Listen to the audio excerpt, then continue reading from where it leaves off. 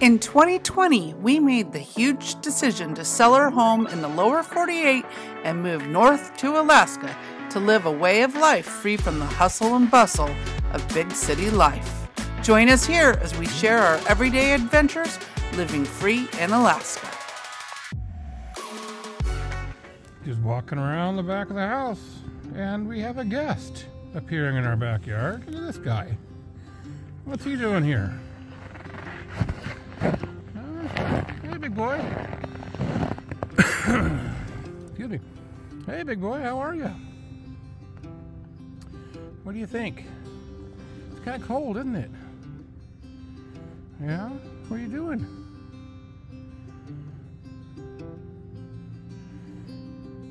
You're okay. That kind of shows you how deep the snow is. It's up to almost up to his belly. What? Look at those mountains behind us. The mountains behind him. Look at that. Amazing.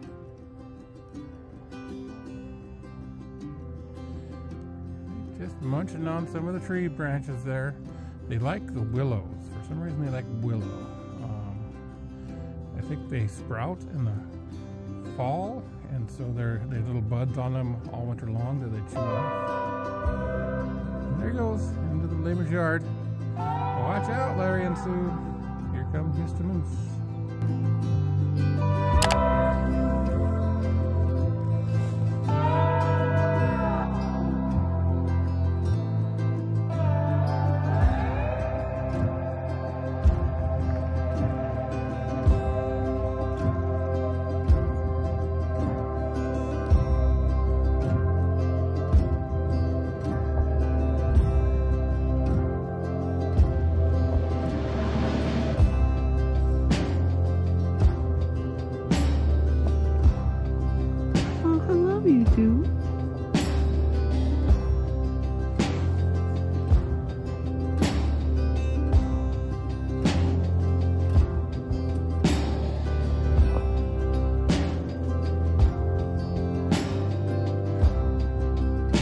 He didn't like me.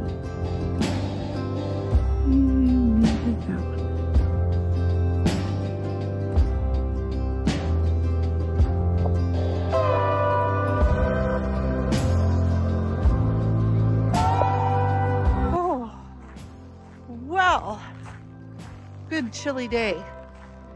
Uh, I believe our minimum low this morning was negative 31 degrees. Uh, I think this is the coldest on record since moving here that we have experienced on our property. So, yeah, we had that going for us just taking a walk out to get the garbage. Um, you know, just trying to help out with some extra chores because uh, Mr. Gary and his lovely injury. It's like somehow some garbage in the road. But uh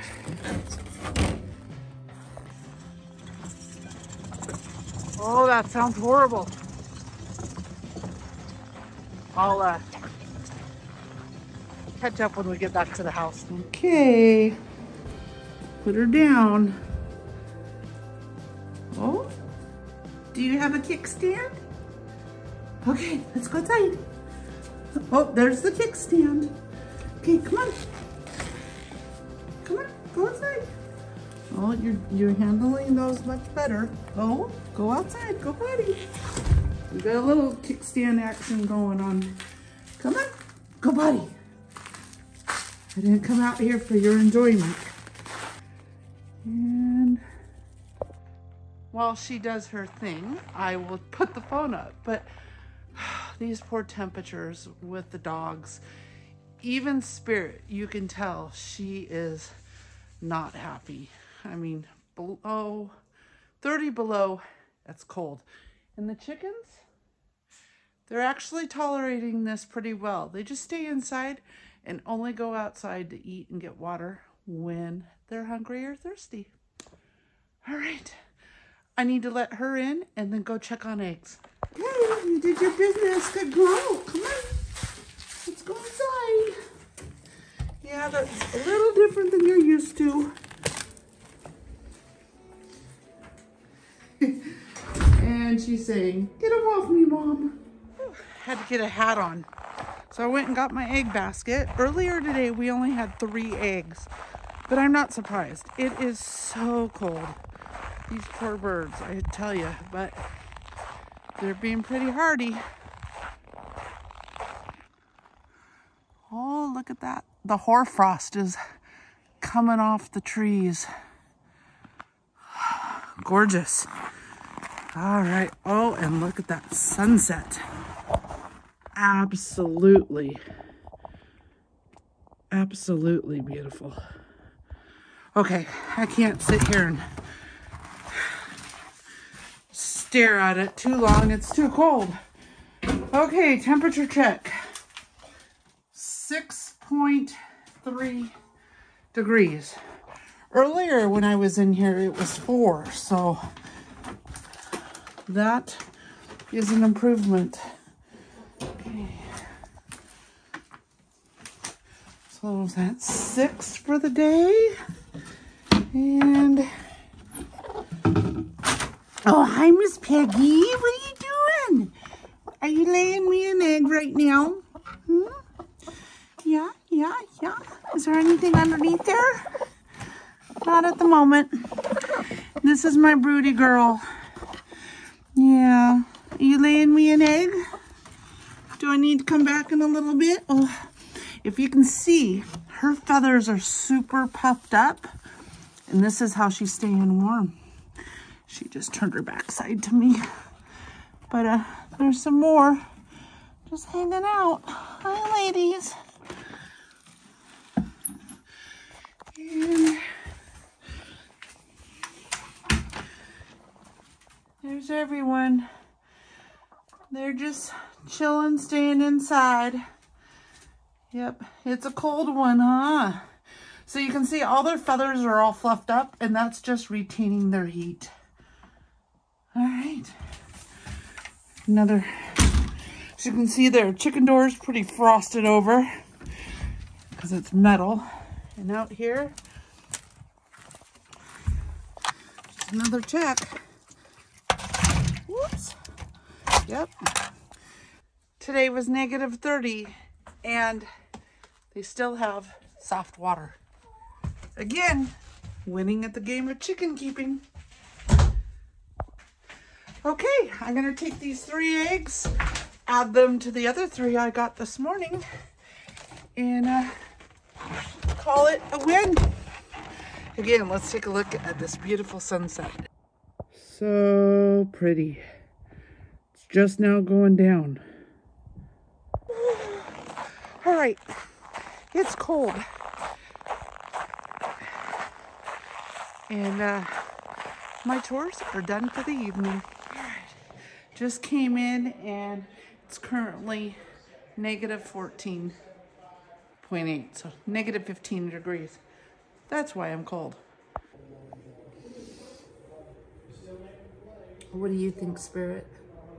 Are you mad at the cold? Yeah, it's pretty bad, huh?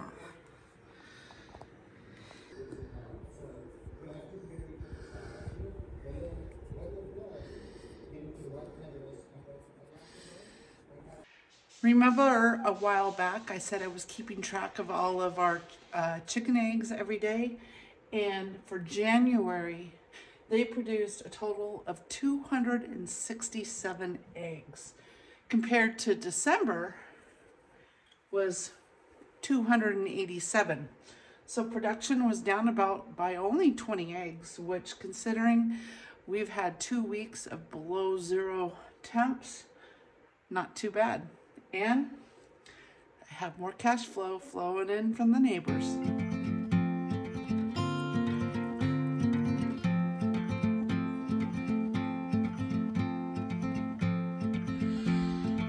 Well, well, good morning. Well, afternoon or day, as it may be. A good day to you guys. Uh, welcome back. It's been a little bit since I've been out here outside taking care of chores, but uh, today I got a few things to take care of and I'm going to bring you along with me as much as I can. Uh, we're currently sitting about 18 degrees below zero. As you can see, I'm bundled up a little bit more than normal. Uh, it's cold out here.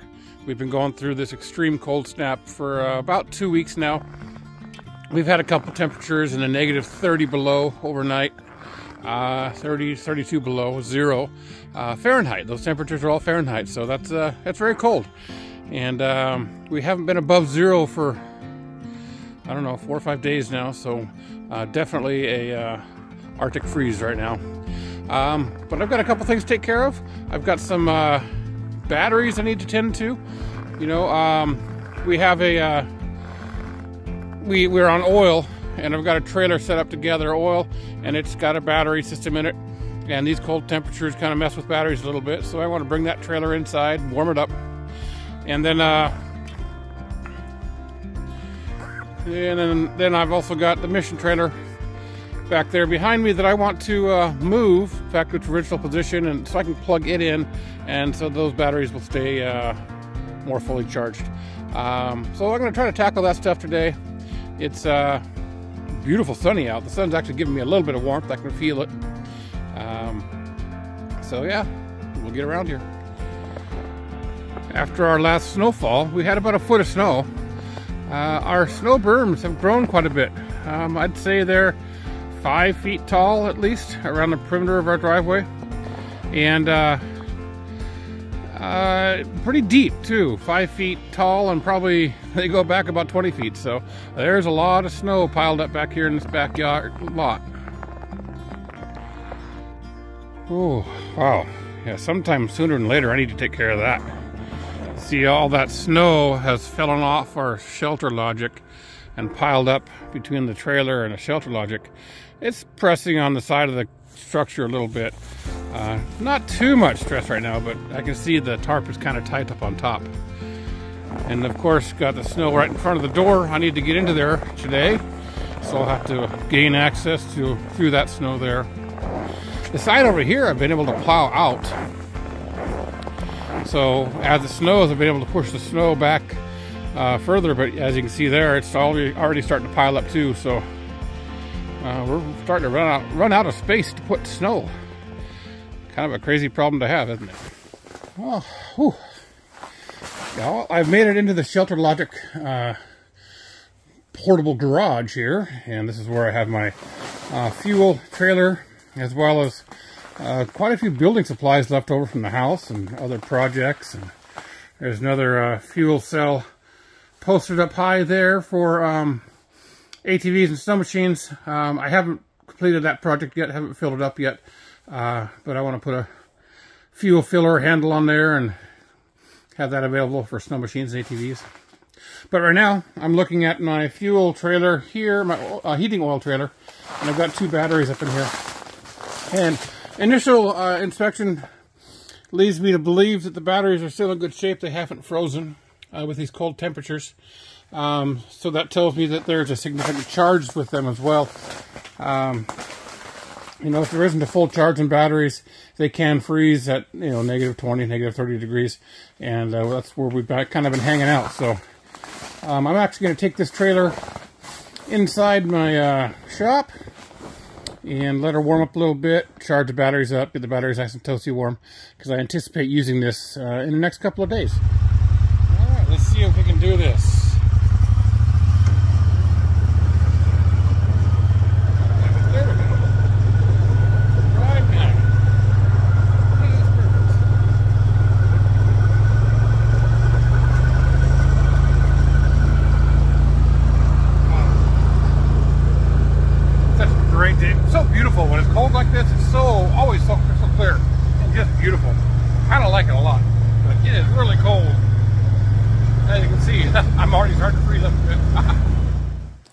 I gotta say that went pretty good. Able to back the trailer into the shop here.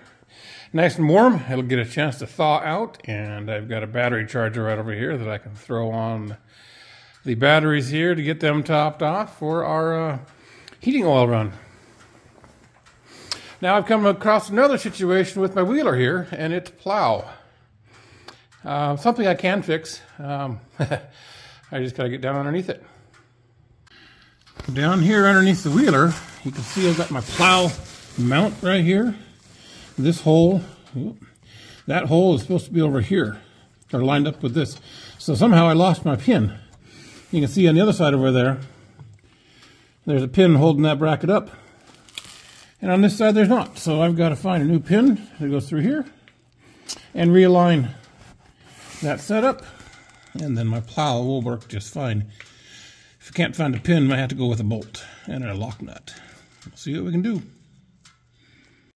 Well, searching through the toolbox, I found this guy right here, that pin with a little bail on it.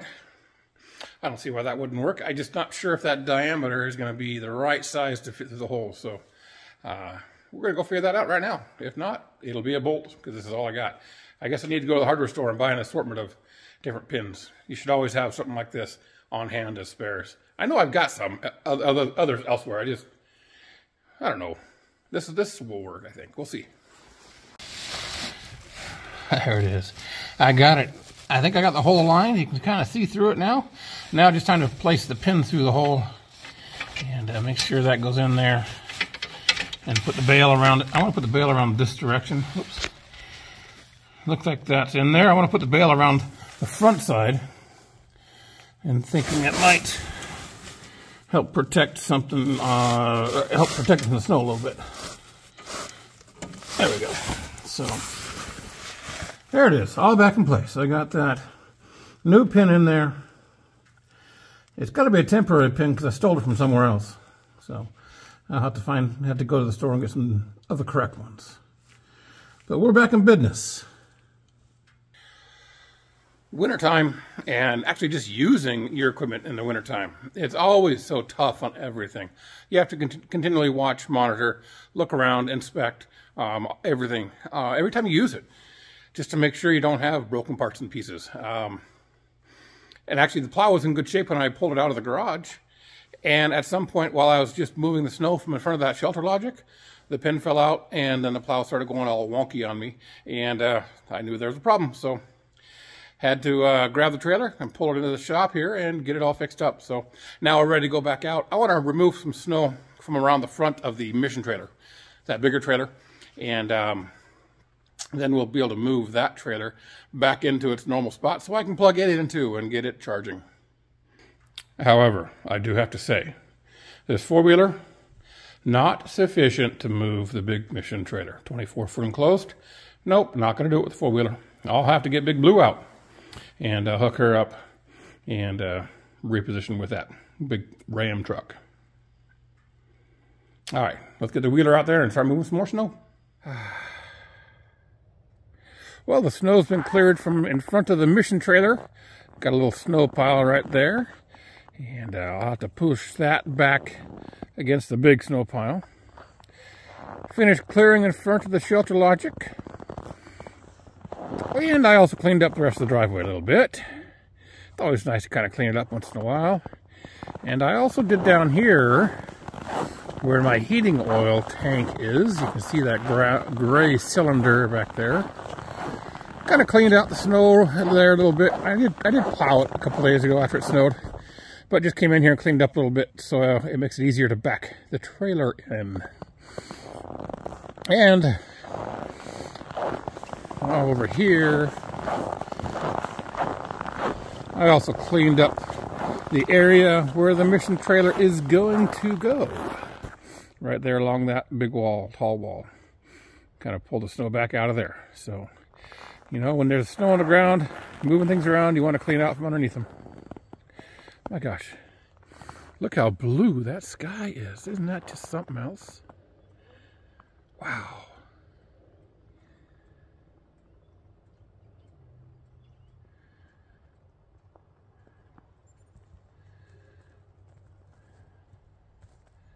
That's just beautiful.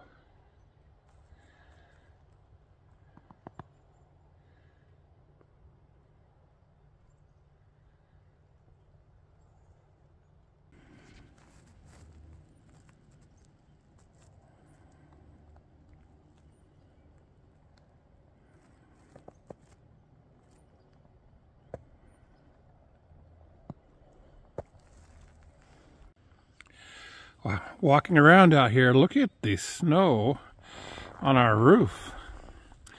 I don't know, I'm guessing that's a good three feet up there. A little bit of a drift. Uh, the snow blow, the wind blows uh, from behind the other side of the house or so, so it kind of drifts the snow up there. But that's like three feet of snow. And uh, our roofs are engineered here specifically for that. To take this heavy, tall, deep snow load. So we shouldn't have a worry about it. But uh, it is always concerning, especially in that shop building. You know, there's a there's a uh, 40 foot wide span in there, supported by trusses only. There's no posts inside. So, yeah, there's a lot of weight on that roof. But engineering, it's great. And even this little porch roof up here. There's some snow up there. Look at that.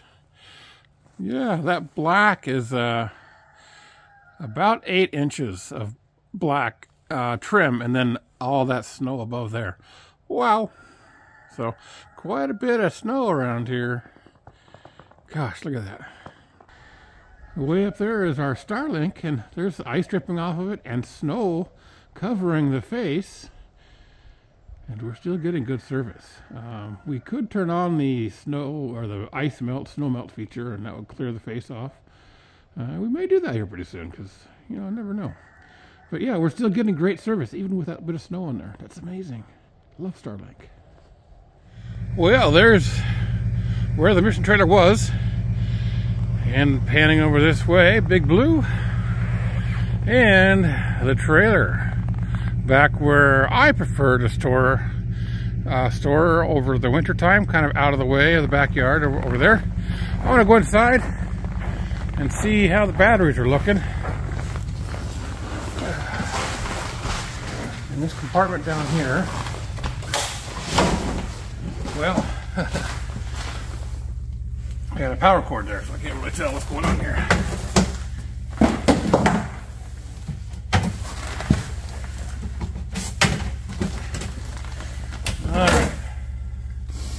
I don't see any swollen batteries. They look to be in decent shape. They are not bulging. There's no liquids flowing from them. And I have plugged in. And I've got a green light on the converter.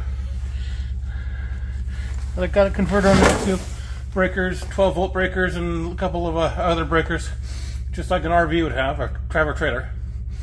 Uh, so Let's see if lights work. A couple of light switches. Those are my 12 volt lights, so that tells me that the 12 volt system's still working. And now, somewhere, there they are. Those are my 120 volt lights. So I got a couple of these LED lights that are plugged into shore power. So these are shore power lights that are working. So that tells me that everything is still in good shape. That's a good sign. All right, cool. No need to have them on. Turn them off. And put all that stuff back away. Feels nice to sit down here in a truck for a minute. It's not as cold right here in the truck. The heater's been going for a little bit, so I can take a little bit of a break from the outside temperatures and uh, enjoy that sunshine through the window. Um, so the trailer's moved, and uh, time to put Big Blue away back in our warm garage. And then I got to come back out and move all that snow that I pulled out from in front of the trailer. So it's not over yet. It sure is nice to be warm in here.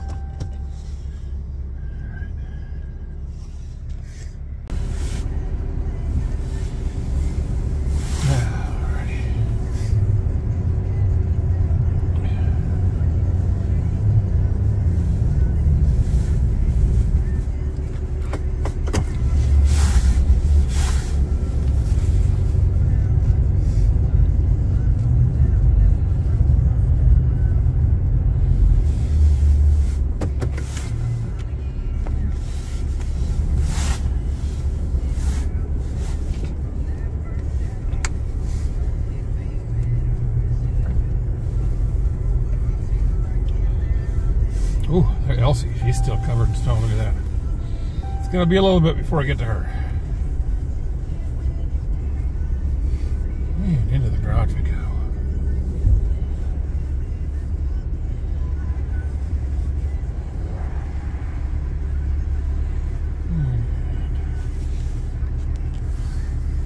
So, there we are.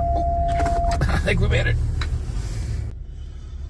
All right, Big Blue, thank you for your workout today. I appreciate it. And uh, when it warms up a little bit, we'll get you outside for a longer run. All right? Take care, Big Blue. Big old diesel 3500 Ram truck. I don't like the cold weather. Mm -mm. So he's been in, he's been inside for a bit. Oh. Well, while I've been out and about, um, I got an error on my phone telling me that something was up with our generator. So I came over here and dug out the generator.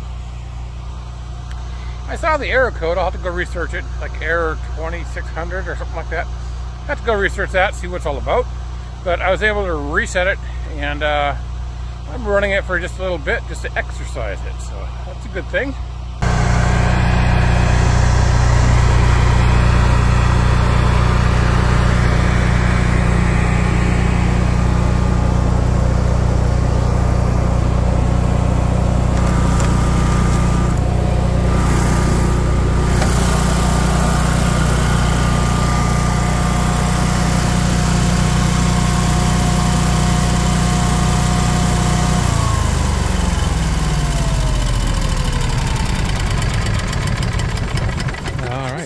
nice and warmed up now. I'm going to go ahead and put it back in auto and ready to run. Perfect. Sounds good. I don't know what the deal is. Um, you know, there was quite a bit of snow around it. You can see how deep the snow is. It was pretty deep all the way around the whole enclosure. So I did my duty. Cleaned her out, started it up, and runs seems to run fine. Gotta keep the gloves on. Whew, that's tough. Gotta press record, set the phone down, put gloves back on. Whew. And also out here, you know, we got the generator right over there, and then our oil tank right over here. So, shoot, while I'm here, thought to myself, with the reminder of my lovely wife, that I should dip the tank. So, I did. I had to dig out a little bit of a trench right there just to get into the tank get a six foot ladder and my uh, dipstick and go from the top, measure down. We've got about 135 gallons right now, so it's getting time to get new oil. We like to, we don't like to go below 100 gallons, so with this cold spell, it's been uh, going a little quicker. Oh, there's that blue sky and that sun, so low on the horizon still, but just beautiful. A little bit of frost left on the trees. What a great day. And cold. Whew. All right. Okay, well, back here at the uh, trailer, and uh, I've got the battery bay opened up, and I can see that it got pretty cold in here. Those batteries got some frost on the outside of them. Um, but I'm going to measure the voltage right now just to see kind of where the charge is.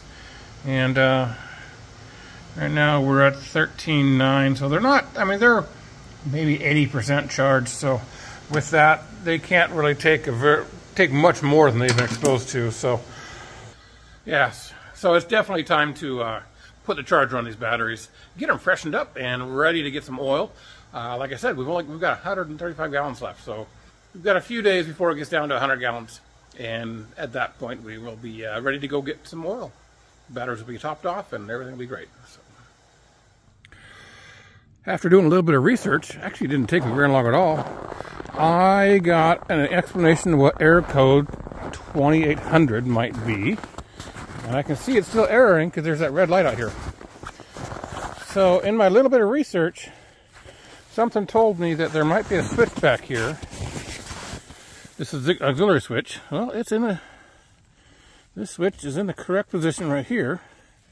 Flip it off and back on. That one works. There might be another one inside the cabinet too. And then that one,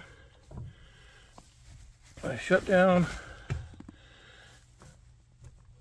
turn back on, and what's this telling me to do?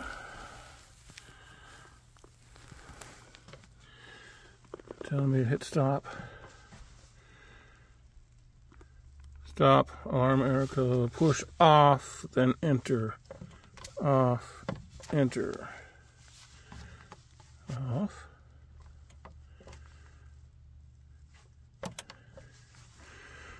Push auto to restart in automatic mode. Okay, back in auto. Well, ready to run. Okay. We'll see what happens. Maybe that'll do it. Hmm. I think that's what I did last time. Hmm. I just love the sun through the trees. Ah, it's so nice. Ah, yeah. How beautiful is that out here? How awesome is that? Ah, it doesn't get old. Oh, yes. It almost looks foggy. I don't believe it is. I think it's just the, the tree branches are frosted and it's just blocking the sun a little bit. Sure is nice.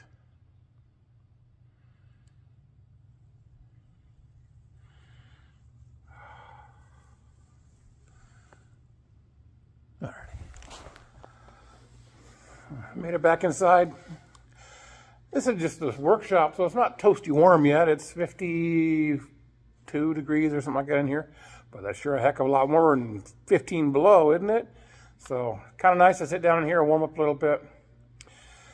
It's a good day of work outside. It's uh, it's tough to do tasks outside when it's so cold.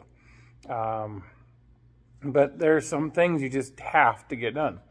Uh, the generator, that is a um, emergency backup power for us. If we do lose power, the generator has to work. So I've got to figure out that issue. And I believe I did. I believe we've got that all reset and figured out.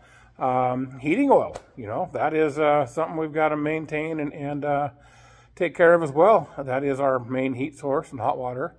Um, so, you know, just because it's 15, 20 below outside doesn't mean you can just sit inside and do nothing all day.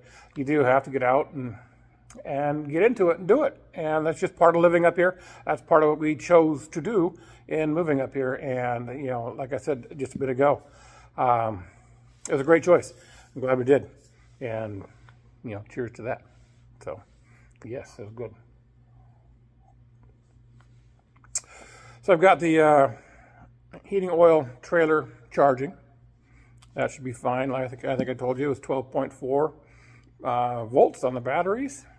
I got a trickle charger going on there, so in a couple days, be ready to go. The batteries will be nice and toasty warm and able to perform great. The trailer also does plug into the truck, so when we're driving down the highway, the truck does give it a trickle charge. I've got what's called an echo charger in there to, to charge the batteries while driving. um, so that helps. And uh, they, they should last long enough to pump the whole tank into the uh, my holding tank as well. So that's great. And as most of you know, I uh, recently had that knee injury. Um, I had my first day of physical therapy yesterday. Uh, the therapist was able to stretch and pull and show me some exercises to help uh, strengthen the knee. Not necessarily strengthen the knee, but help uh, help me get more confidence in the knee. Um, with all the doings and, and out and about today, uh, I can feel it. You know, I can definitely tell that I was doing something. So uh, it's it's not hundred percent at all. That's for sure. And I do have to be very cautious when I am out out and about doing stuff, especially on these uneven surfaces and the slippery snow and, and ice and such. So even though you see me jumping off and on, well, you don't see me jumping off and on on the wheeler, but I sure was a lot today. Um, it's always in my mind that I need to make sure that foot's planted solid make sure the knee's stable before I take that next step. Um, but you know, it's getting there. It's doing a lot better than it was. That is for sure. Um, I'm actually getting around pretty good. Uh, and working around the house today was nice. It felt good to get back out there and really kind of do some stuff. So um, I think it's going to be a good thing for me. I mean, how can it be a good thing for me? Um, physical therapy is going to be good for me. Uh, it'll help me concentrate on on using the knee the proper way and, and, and just kind of getting above or getting over the fear of, of hurting it again. Even though the meniscus is, a, is an injury, a, a torn meniscus is an injury that will not heal on its own, um, I think with this therapy, I will be able to get to a point where I can uh, walk on it pretty easily and not have too many problems and, and probably go about my normal activities here pretty soon um, without surgery. You know, that's my goal. I, you know, if I can avoid surgery, that'd be great. Um, and surgery really is the only way to truly 100% fix the issue. Um, so, you know, it's, it, it is an option, but if we can do this and get get me to a point where I can trust my knee again and, and feel comfortable using it every day without surgery, that'd be great. So that's the goal. Um, until then, we're just going to take it easy and, you know, do uh, all in a day's work kind of thing and, and take, take a little sipper at night and have a good time.